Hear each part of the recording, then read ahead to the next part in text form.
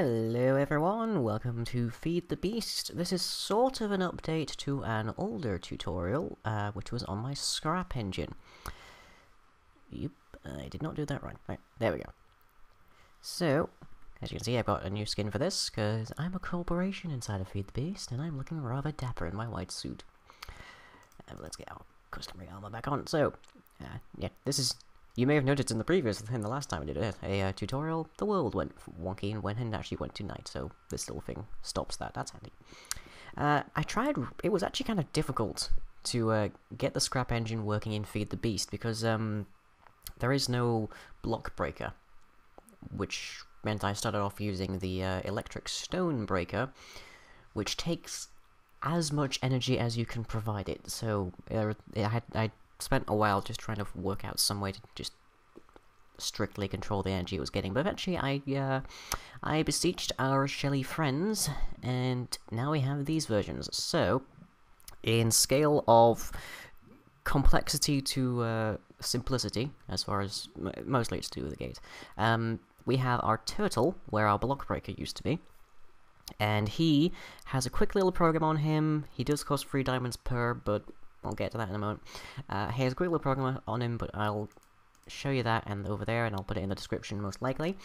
Generator is in the same place, recycler is in the same place, wires are more or less in the same place. I realized I could put them directly under here since I don't actually need a wire coming along to control anything.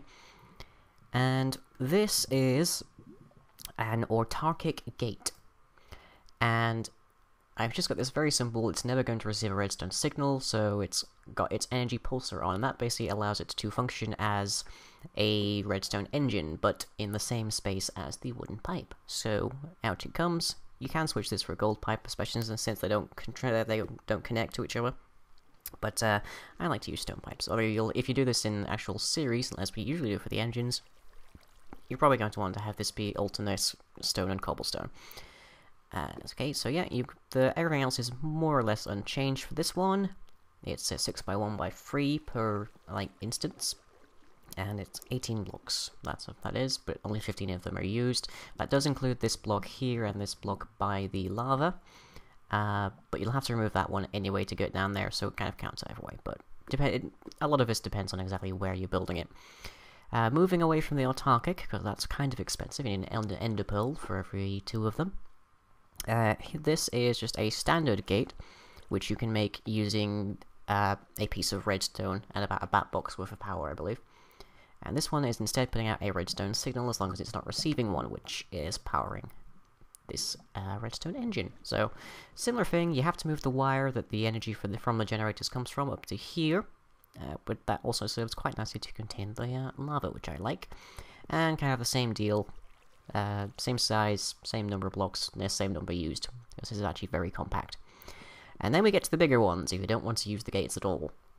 Uh, because we can't put a lever here uh, to control the redstone engine unless the redstone engine is outside of the system. Uh, so more or less everything is identical to the original version over there, but we have to go a block down to have a redstone engine and something to power it, in this case a lever. And that's larger, because it's using 17 blocks. Uh, and it's 6 by 1 by 4.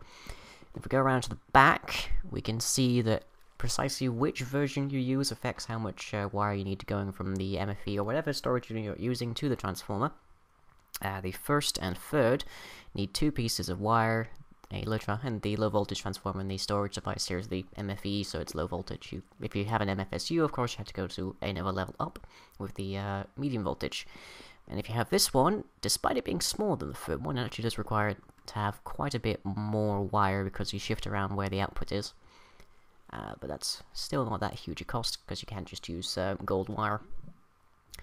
And uh, so let's go see this in process, and we'll also take a look at the total program, because that's kind of the meat and bones of this version. Uh, it's sort of exploiting a bug wherein the turtles don't need fuel to break things, but they do need fuel to move around. Which is a little counterintuitive, but for, for our purposes it's very handy, because it means we don't need to keep refueling these turtles. Uh, now as you can see, they're just happily mowing along there. They keep a stack of cobblestone where as long as they can, uh, but they always put in whatever they can into the actual recycler beneath them. So, so they sort of function like our block breaker, but they have their own storage in case, for whatever reason, the uh, the generator, the cobblestone generator, gets broken. So it's sort of a backup supply to, to keep producing energy. And we can see these are happily working. Yep, no problems there. And this MFE is about a half full, thereabouts. So let's take a look at the code, and that'll be the end of the tutorial. Now, it isn't very particularly uh, complex, you just need to go into the startup file like that. And that's basically it. The first chunk here, uh, from local to this first end on line 7, is just to do with making it easier to start the engine up, because um, the, one of the main problems with this engine is that if you log in and log out, or if a chunk gets unloaded, the turtles they not they're not moving, so they won't disappear, but they can uh, sort of shut down and break.